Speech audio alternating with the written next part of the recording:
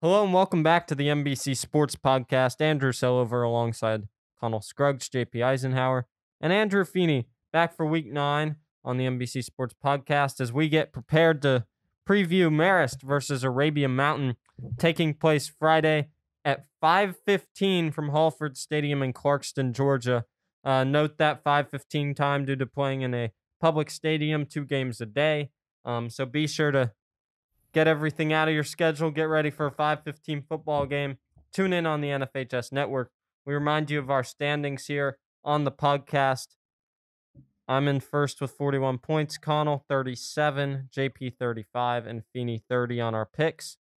Connell, Arabian Mountain, a team that honestly has surprised us so far this year, coming off a massive uh, 40 to 20 win over Mays last week.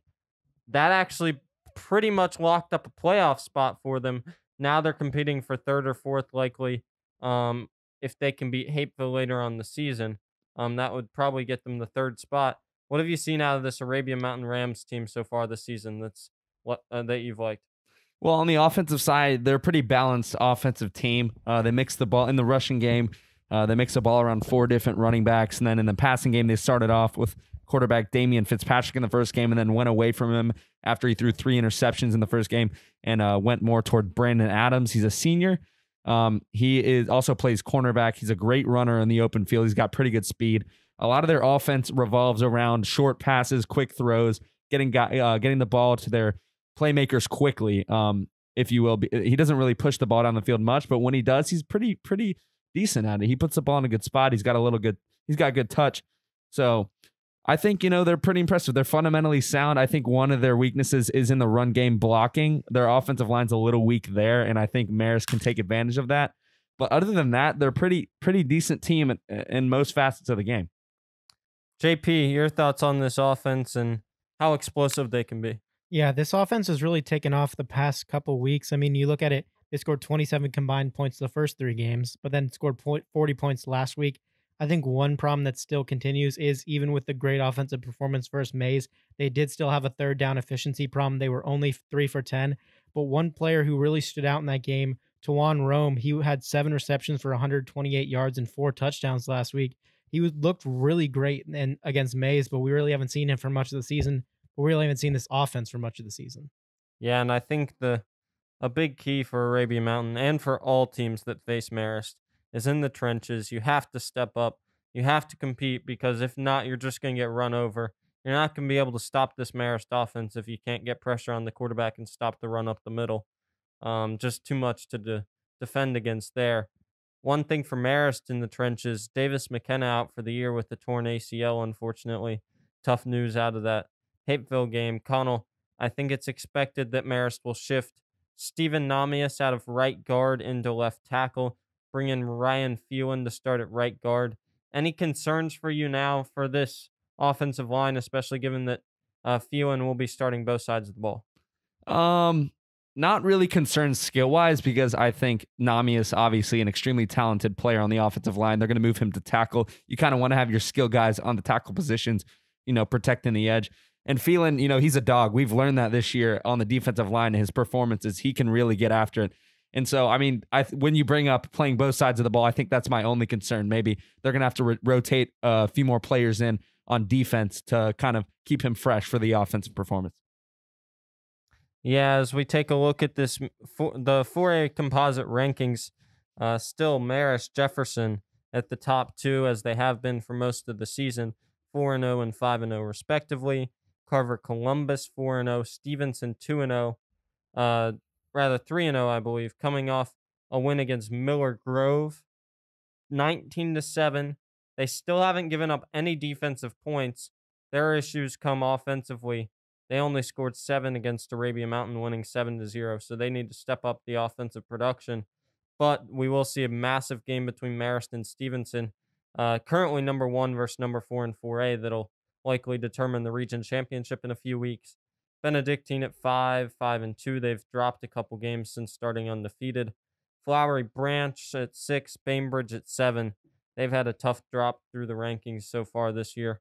Look to rebound in region play. Islands at eight, Cedartown at nine, and Baldwin jumps into the top 10 this week for the first time this season as we transitioned into our games of the week this week.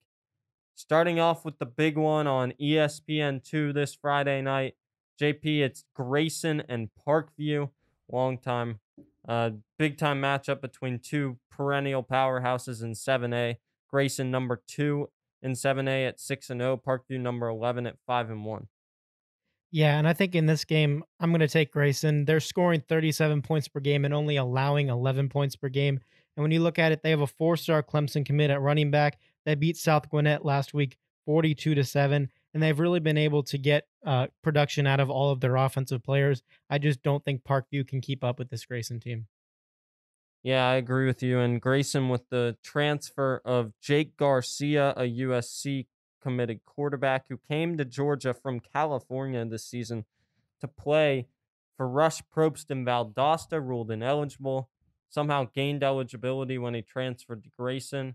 Um, that makes no sense. uh, but he's a talented player nonetheless, and will definitely help them. I'm not sure he's playing this week. I'm not sure he's officially been approved to play, and he hasn't been with the team for very long. So I'm not positive he's playing, but I would. It's very likely you see him playing before the end of the regular season and into the playoffs, making Grayson potentially the top contender for the 7A title. I like Grayson in this one. Just too many weapons to defend against. Exactly. I, I mean that that's perfect. I, I agree. There's so many weapons on every side of the ball, both sides of the ball, wide receiver, running back, now picking up Jake Garcia at quarterback position. I mean, this team is going to be a force later in the season. Give me Grayson over Parkview, but they will have to stop Parkview's strong running attack. Yeah, I agree with you guys. I'm gonna go Grayson. Back to you, Feeney, here for another big one in uh, 7A this week is the um, GPB game of the week. Number six, North Gwinnett, and uh, number 14, Collins Hill. North Gwinnett suffered two tough losses early in the season that bumped them, I think, I believe, to five and two so far this year. So it's going to be interesting to see how this one pans out. Collins Hill comes in also five and two. Yeah, you know, it's a great matchup tomorrow night. I mean, you got complete I in my opinion pretty opposite teams. North Gwinnett is known for their defense and Collins Hill has a great offense this year. Um, but North Gwinnett's defense is just insane. They're led by linebacker Barrett Carter and cornerback Jordan Hancock. Carter is committed to Clemson and Hancock is committed to Ohio State. So you could say, I mean, they're pretty good players. Um, and uh, although looking at Collins Hill, they're they're led by uh, quarterback Sam Horn, and he has nearly 2,600 passing yards and 16 touchdowns through the season so far, which is pretty crazy. And they got uh, on the outside, they got their wide receiver, leading wide receiver Travis Hunter, who has nearly 800 receiving yards and 11 of those 16 touchdowns.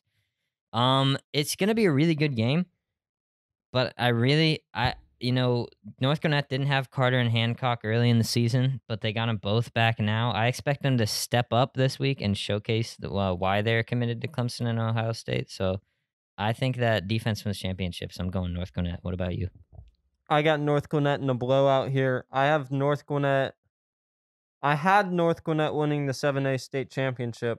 Jake Garcia transfer might uh influence that a little bit, but I'll stick with the North Gwinnett winning the 7A championship, and I, I think they won in a blowout fashion against Collins Hill. You're right. I'm going to agree with you. Go with North Gwinnett here. I think, you know, the defense has been consistent all year. Offense has been pretty inconsistent. Um, but I think, you know, if that offense catches catches their stride early in the game, they got a chance to blow them out like you think. But even if they don't, I still think no, North Gwinnett's got this game. Yeah, and I don't think Collins Hill on defense really poses a huge threat to North Gwinnett. I think North Gwinnett's going to be able to get that offense going, and I think North Gwinnett's defense is going to be able to ground this Collins Hill offense.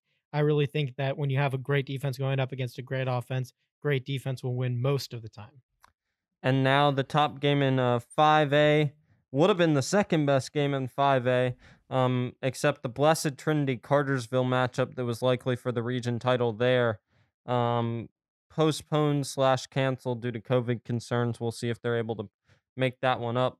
Uh, but Ware County taking on Warner Robins. Ware County number one in 5A, 6 and 0, and Warner Robins number three, 4 and 2.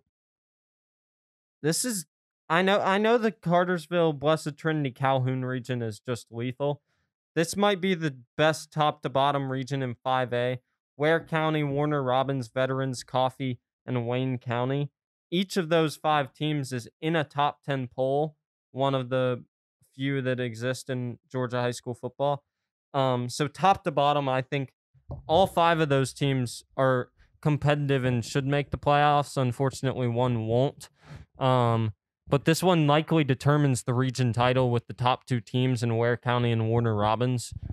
Each team is led by a very good quarterback. Warner Robins led by Jalen Addy, over 900 yards passing and 400 plus yards rushing. Thomas Castellanos, on the other hand, for Ware County, over 1,500 passing yards and 600 rushing yards on the season.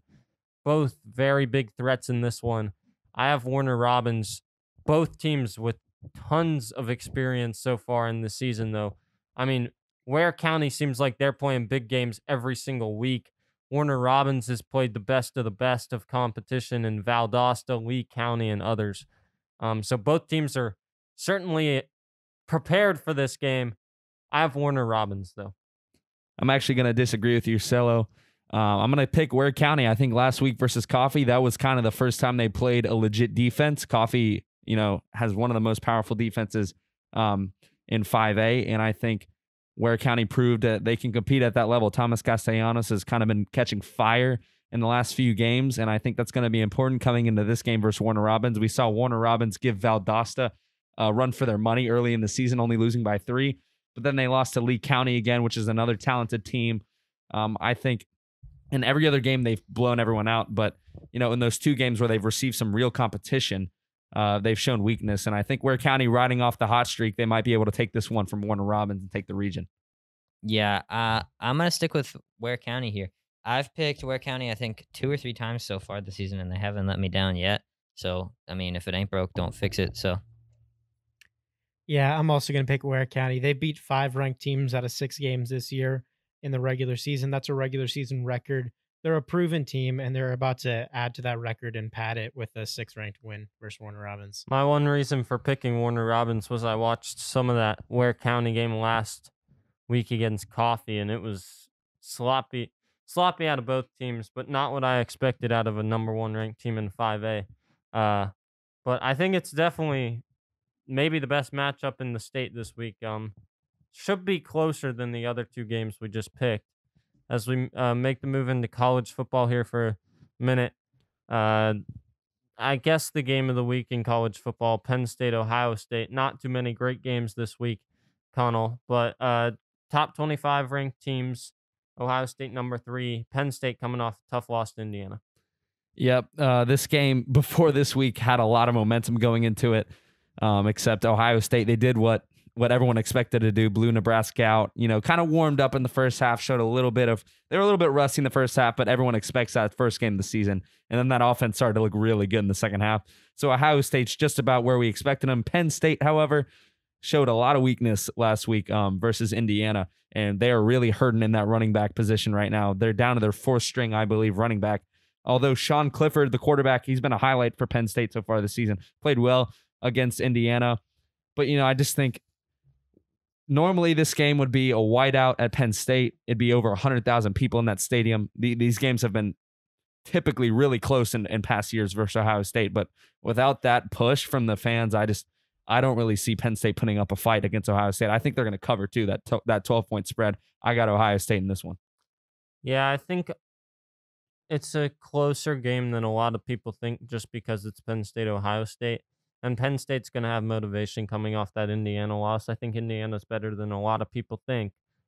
Um, I, I will take Ohio State here um, in picking it, but I'll come back to that game in a minute for my upset pick. I'm gonna go with I'm gonna go with uh, Ohio State in this one. You know, you look at it and it, uh, like you said, it's not gonna be as big of a blowout as people think. I mean, Ohio State's a great team, but in my opinion, they're nowhere near as. I mean, they're good, but they're not as good as they were last year. They're really lacking the pass rushers off the outside. So and and in interior D line is not that great. And I was expecting coming into this one, if Penn State was one had won last week against Indiana, for Penn State to be able to run the ball successfully against Ohio State, and it was going to be a close game. However, COVID injuries. Penn State's down to their fourth string running back. Ohio State still has a decent defensive line. Ohio State is going to win this one. Yeah, I mean Ohio State looked like they were just getting that pass offense started versus Nebraska. That Fields only had one incompletion the entire game. I think the only main concern for Ohio State for me on offense is their run game. I mean, it really has not looked as good as it has in the past few years. And I think with Penn State, I think we can all agree they should have won that game. I think that that ball was out of bounds before he crossed the pylon, but I think It- It It was. was. It It was. was. I don't know how they called that, but yeah, that's the rule is when the ball passes out of bounds, not when the ball touches out of bounds. So that was definitely before the pylon. But I just I don't see Penn State being able to pull off an upset over Ohio State, even if they win last week. And I do think Indiana was definitely a better team than a lot of people thought coming into it. Feeney, back to you. Texas, Oklahoma State. Very uh, intriguing game, as most games are in the Big 12. yeah, you know that's a great way to describe it. An intriguing game because it is. I feel that Texas has proven themselves to be one of the most average teams in college football. I mean, Sam Ehlinger, he uh, he's an above average quarterback and he has good weapons around him, but the defense is average at best. It's like Auburn. Yeah. Average. Yeah, it's like I mean, O- Oklahoma State. They have a so far this season. I mean, they haven't played great, great defenses, uh, great offenses, but they have a very good defense so far. And uh, Chuba Hubbard, he's uh, first round talent in my opinion. Maybe late second round. I mean, late, early, late first round, early second round. Um, and he hasn't really been able to get loose this week. The uh, so far yet this year. Um, I think that this this week is the week where he blows up and he uh goes for over 175 yards. I think Woo. Oklahoma State will pull this one out against Texas. Dang, 175. Yeah, I think Texas shows up in a big way this week. I think they've uh, been just put out of the picture um, after the loss to Oklahoma. And I think average is a good way to describe them. I think they have the weapons to be good, though. And I think they are good at times. And I think they will be good this week. That doesn't mean they'll be good the rest of the season. They probably won't. But I think they show up. And I think they upset Oklahoma State, basically eliminating the Big 12's chances in the playoff. Uh, that's not a horrible pick. Yeah. Not at all, because Big 12 always has the possibility of teams showing up some weeks and then not the other week. They're so inconsistent. But you know what? I think the biggest thing in this game is the run defense for Texas. That that's going to be the key to this game. When it's good, Texas Mhm. wins. When it's not, Texas loses. They're 0 2 when they allow more than 200 yards on the ground, and 3 0 when they don't. The problem is Oklahoma State's a very good rushing team. that that is a huge problem. So I think I, I don't know about 175 yards. I'll give you I'll I'll say 125 for Chuba Hubbard, and I think I think Oklahoma State has a field day on on Texas's weak run defense, and they win this game. You know, this is a trap game just because of how bad the Big 12's been all season. I still don't think an Oklahoma State that's undefeated should be in the playoffs because I don't think the Big 12 is good at all this year. I don't want to see it. They're going to be in the playoffs, but I don't want to mm. see it. Well, they're just not going to be undefeated, so no, they won't be in the playoffs. Well, Spencer Sanders, I mean, he's looked inconsistent, but he's shown some flashes. I think Chuba Hubbard's really the only reason I'm picking Oklahoma State in this. That and their defense. I mean, it's fine. Defense is finally making an appearance in the Big 12. And Oklahoma State's looked, they've up. looked pretty well. I mean, they looked They've pretty good looked on defense so far. That's what I was trying to say. Like they've looked good, but again, I, you just don't you don't know. know. You just don't know. Like- you never know. You just don't know what you're going to get. Yeah, it's like Auburn. Will they show up this week? Maybe, maybe not. That's the Big 12 in a nutshell. Yep. Will they show up this week? Don't know. yeah, that's why we see so many upsets in the Big 12, honestly. Um we'll take speaking of upsets, let's take our upset picks this week. I'm going back to that Penn State Ohio State game.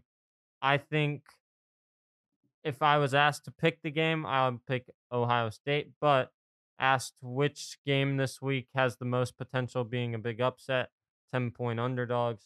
I like Penn State uh chances compared to the rest of the underdogs this week in getting the upset.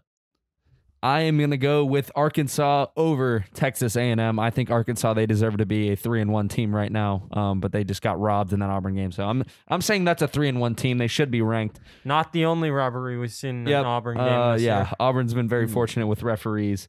Um, but yeah, this I mean realistically this is a 3 and 1 Arkansas taking on a Texas A&M team that's also lost one game.